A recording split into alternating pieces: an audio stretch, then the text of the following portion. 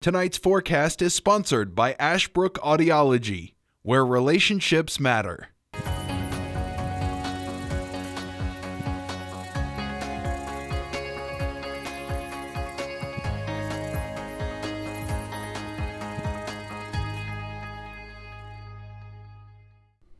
Alrighty, we're wishing you a happy Monday. We hope you had a good weekend. We saw some showers and some much needed uh, thunderstorm activity. That again, it's not much needed, but it's anticipated. Let you know we're getting close to the summer season as well. Of course, congratulations to Kyle Larson, the NASCAR for the NOCO Sunday race yesterday. Uh, was able to pull up a big victory win, and of course the Truck Series race. Uh, thanks, course, got a little delayed because of the weather, and that was forecasted to happen, uh, as that uh, typically usually goes on this time of the year. So race weekend is always interesting. It's either rainy or it sometimes can be a little too windy for the cars on the track itself out there. Of course, thank you to all of our visitors uh, for making some time across the United States to visit little old Martinsville. If that was your first time there, welcome to Ridgeway, actually. But again, the Martinsville Speedway located here in the pride of Henry County. So, congratulations to all of our drivers, and now we can get back uh, so we have uh, less congestedness uh, in that area as well. So, the good news is that we are going to see some drying conditions for the next several days. It's going to get windy once more. We remind you that burn ban does continue for the rest of the month, so give another couple more weeks or so before the burn ban uh, does uh, continue to come to a close. That is something we, that we've been emphasizing for the last several weeks, and actually since the end of uh, since February. Basically, once that went into effect, February 15th is when it went into issued uh, for our hometown. So let the grass dry out for a day or two, then get the push mower and lawn mowers out there. Weed eaters definitely going to be needing it after this wet weekend we saw. 70, it's excuse me, 60s and sunshine, as I'm trying to get to say right there as well. We'll see a very clear and calm night in the making for us. No thunderstorm activity this evening, though. We'll just see a crystal clear sky at night moving in in the waking forest. So if you do have plans later on this evening, maybe go walk the dog or maybe do just soak in the patio furniture, or, or better yet, if your kids are doing any uh, baseball or softball or any uh, soccer activities, this evening, go ahead and take advantage of it. Now, however, though, it is going to get cool in a hurry. We're not going to be seeing those mild overnight lows like we saw earlier this weekend, as the overnight lows are going to dip in the 40s for us. So actually, where we should be for this time of the year, believe it or not. We'll see those clear skies overnight again, a light breeze at times out of the west, about 10 to 15 miles per hour. So, again, a number one reason why you shouldn't be doing any burning because the winds are going to be out there uh, howling out of the west about 5 to 15 miles per hour.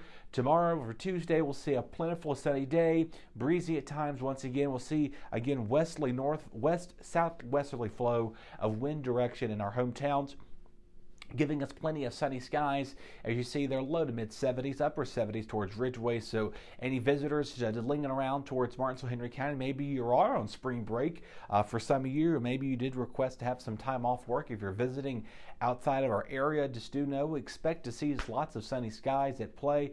Low to mid 70s for our friends towards Patrick County, Stuart, Ararat, Woolwine, Patrick Springs. Uh, as you make your way up towards uh, Route 11 and Route 8, there outside of Montgomery County and Floyd County. I know I'm going well out of our area, but a beautiful time to get out there and soak in the sunshine. Something else I want to quickly make note about is that the pollen is going to be high as you make your way towards this uh, the next few days, and that is because we've got dry the dry air is at place, and another thing to consider is the breezes and those winds blowing blowing as well. So that is the main concern why we're having uh, warmer temperatures, but also again an increase in pollen numbers as well. So if you suffer from allergies, of course, although a lot of people was going out about her a lot of achieves and sneezes over the weekend, doing some things outdoors, just kind of dodging showers in between. Yes, yeah, so make sure you have your allergy medication on standby. Again, breezy conditions tomorrow and also going into Wednesday. Winds will begin to diminish later in the day on Wednesday afternoon. That is because we're going to get this front that's finally moving out of our area, bringing, of course, uh, you know, parts of the mid south this past weekend. You know, this is now the fourth weekend in a row that we've even here in our hometowns have seen showers and storms they have seen tornado warnings and watches and flood alerts for parts of Mississippi, Tennessee, Louisiana, Alabama, and Georgia, also parts of Kansas and Arkansas now. And you wouldn't believe this, there's a potential for more severe weather expected for them later this week in the deep south and the mid south. So check on your folks if you have family and friends down towards the Tennessee, Ohio, Mississippi, River, River Valley, uh, the down to the deep south. Check on them because, again, they may have the potential for seeing some more storms and possibly tornado damage again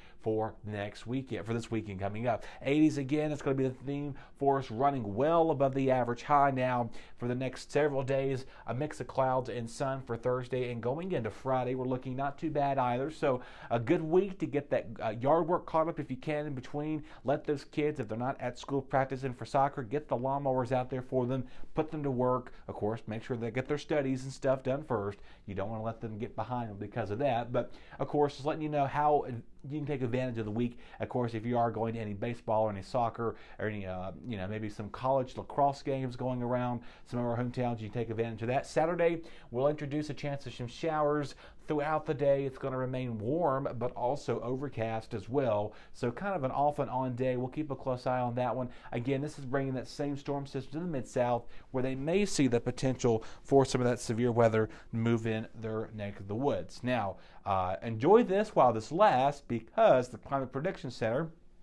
put out yesterday their uh, weekly outlook. Now, again, I don't normally show this on Mondays, but I thought this was very uh, um, interesting to look at because it's been so warm for the last several, almost week now, two weeks of roughly.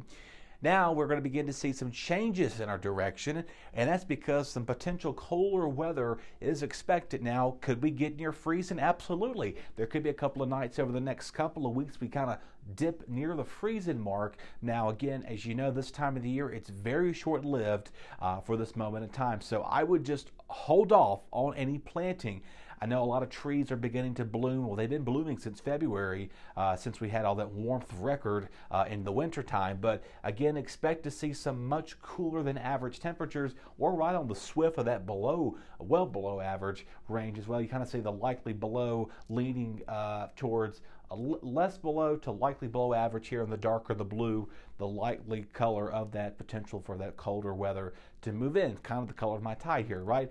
But anyway, just do expect that we're going to see a gradual cool down going into late this weekend and going into the following weeks leading up to the end of April. Uh, of course, right now, uh, there's the potential uh, that, again, don't expect us to remain cold, but we are anticipating that we're going to see likely cooler than average temperatures for our hometowns, possibly going in, the latter of this month and going in the first start of May. So, just giving you an idea where we are on the calendar, we're right above the average, not near where we should be, but uh, besides that, rainfall departures still, we're needing some help with that. Uh, now that we got thunderstorms and some showers over this weekend, it's not enough to surpass our uh, our negative amount of moisture, but again, we should be more right around a surplus. So without these rain showers, we're going to continue to remain below average for precipitation levels, but most likely looking below average for our temperatures as we do expect this to go out towards the end of April. So that's all that and wrapped up in a bottle there for you, wrapped up wrapped up in a foil, we're even gonna call. I'm trying to